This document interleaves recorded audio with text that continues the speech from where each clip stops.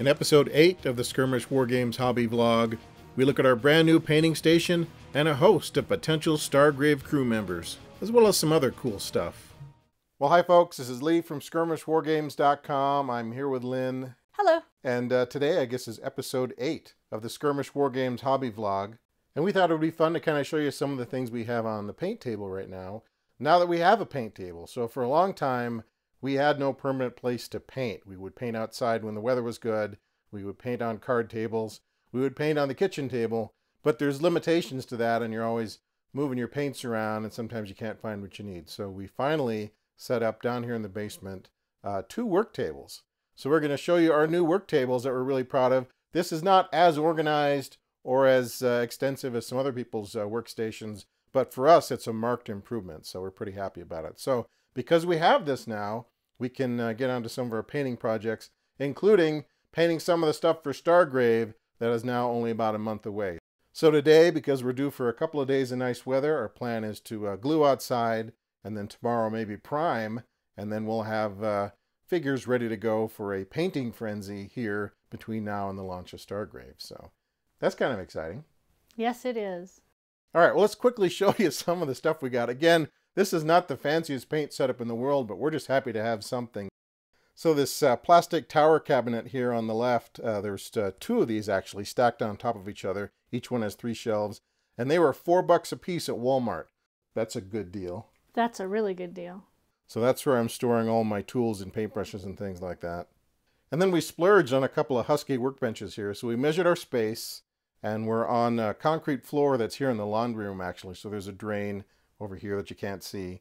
But we figured paint splashed on the concrete floor wouldn't make much difference because it's kind of dinged up anyway. So we got ourselves a couple of Husky workbenches.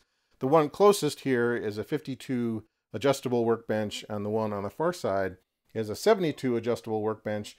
So outside of this table here being about 20 inches longer than the one I'm working on, the only real difference is while it's adjustable, you have to get in there and kind of remove the bolts and sort of move the legs up and down, whereas uh, the smaller one has a little crank to actually raise or lower it. So we'll see if that uh, makes much of a difference in the long run. And Lynn, I noticed you were so happy with your new table, you actually covered it in visqueen here. Yeah, I don't want to mess it up. This is probably a good idea, so you can laugh at me when I spill some uh, shade, some earth shade, all over my new table. Yep, snakebite leather, Agrax, you know, That's the ones right. we've already spilled a couple times. That's right. So one of the real benefits to having a designated paint station is it allows us to take the paints out of the storage containers and actually put them on the table where we can see them. So we did manage to get most of the paints out on the tables, but since uh, space is finite, I was looking for some sort of a wall-mounted unit to handle the overflow. And kind of came across this thing here on Amazon, and this is actually a uh, nail polish holder for if you had a nail salon or something like that. But it popped up in the search when I looked for uh, Citadel wall-mounted paint racks, and many of the buyer reviews were actually from hobbyists using it for their Citadel paints and uh, Army Painter paints and stuff like that. So And it fancies up the joint with all the scroll work. yeah, we're a little rough around the edges, so we need as much filigree as we can get. But this rack here, it fits the droppers, it fits the larger bottles, it even fits these old style uh, Citadel paint pots, and of course the uh, standard ones. So some of the stuff we use frequently, we put on the bottom rack, and some other things we don't use that often, we put a little bit higher, but uh, gives us another storage option here to uh, have all our paints out in the open as opposed to packed in a box. One of the things about painting on the kitchen table is we didn't have all the paints up there, and so there'd be a lot of instances where, uh, where is the Caribbean green? I don't know. So then some one of us has to stop painting, go downstairs, root around in a bunch of boxes to find the Caribbean green, and uh, yeah, this is better. Way better. This is a lot better. So yeah, I'm pretty jazzed about this. This is not the fanciest setup in the world, but it is a setup, and so now, uh, you know, we have no excuse not to finish some of our painting projects because everything's right here. And it's all organized, well, mostly organized. Yeah, it's not bad at all, and certainly we can make improvements over time if we want to.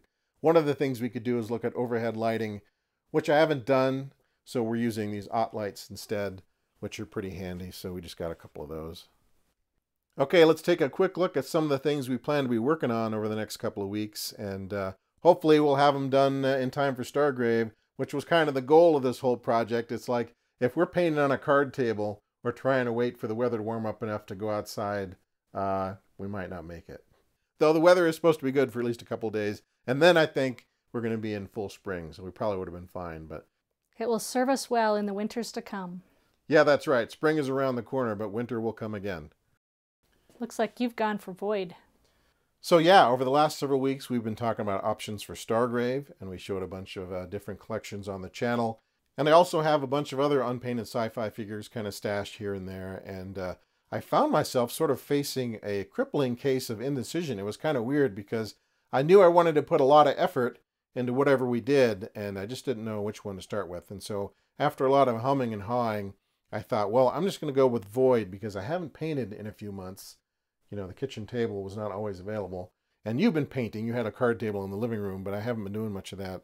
So I wasn't really ready to jump into something super technical with a lot of details. I wanted to kind of ease into it. And so I had these Void miniatures from about 20 years ago. Now, Void is the uh, sci-fi skirmish game from i-Kore from about 2001 to 2004, kind of in that range, maybe a little earlier. But uh, I really like the minis and I like the aesthetic.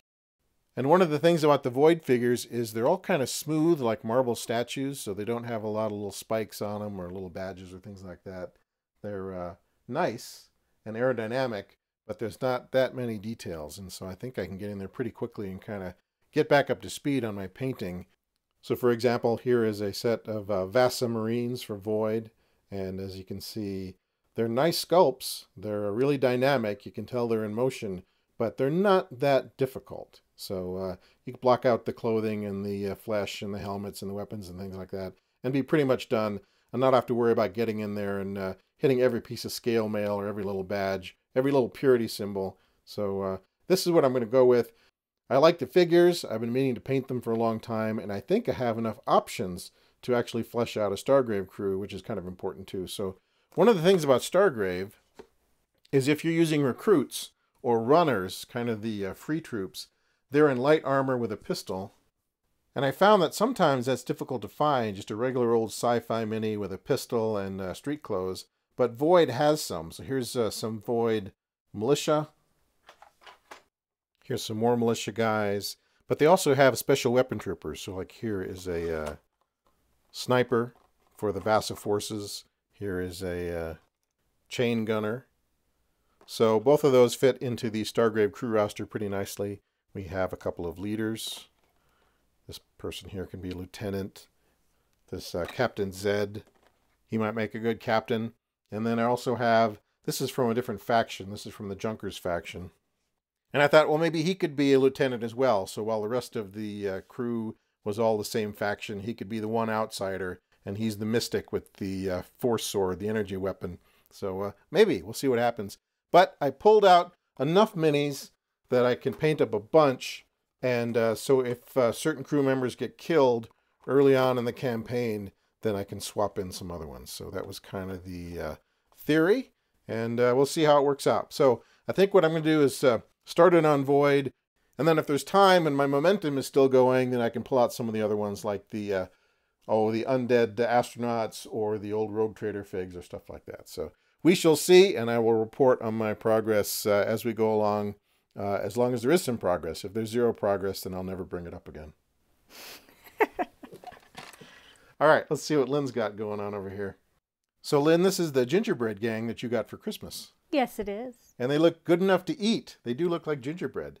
So, this is one of the miniature sets from uh, War in Christmas Village. And if you remember, we did uh, Dead Rise in Christmas Village around the holidays, but we didn't have these guys. So, maybe when uh, Christmas rolls around again, we'll uh, have to do some sort of scenario with the gingerbread gang, but they turned out pretty cool and they're ready to go. They just need to be based, right? Correct. Here's something you just sealed. This was a barricade made out of old furniture that we got with our uh, terrain crate sets, right? One of the post apocalyptic terrain crate sets. Indeed, yes. So, yeah, I like that. And you have a few other ones that are kind of uh, in mid completion, they're works in progress. Yep, and some are done. Here is Comet the Chimp from Retro Ray Gun. I got this for you special. So I'm unsure as to whether Comet the Chimp is going to make it into your uh, Stargrave crew, but you're going to paint him anyway, right? I'm going to paint him anyway. I've got a bunch that I've got ready to glue. He's one of them. Yeah. And these are some figs you've glued together already and are about ready to get painted, correct? Correct. So here is one of your uh, Ratmen from uh, Mantic. This is also a Mantic um, Dead Zone figure. This is a Teraton or something, right? From the Rebs faction? From the yeah, he's from the Rebs faction. So here's another Space Rat. That's one of the Veer-myn.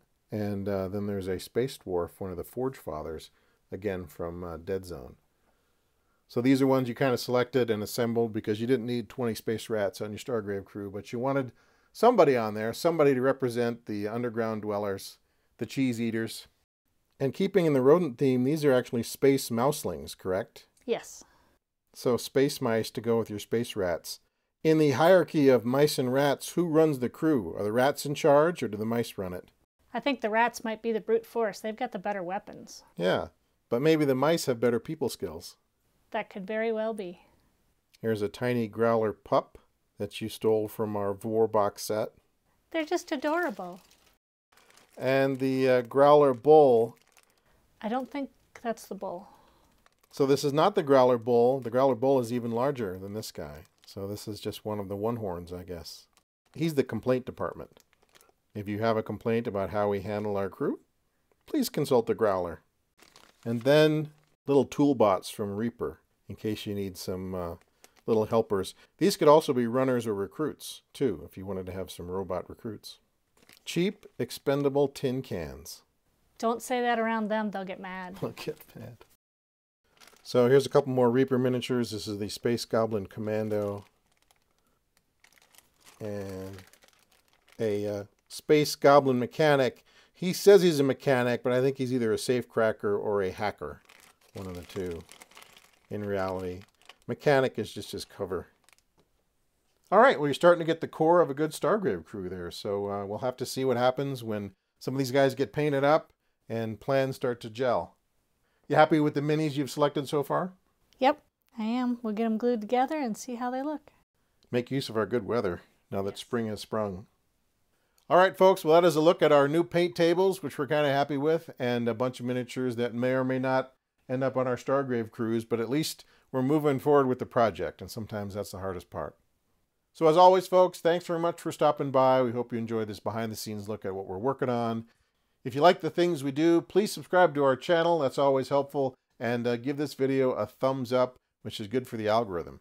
And of course, you can also visit us online at skirmishwargames.com and check out some bonus content. So until we talk again, thanks very much, and we'll see you soon.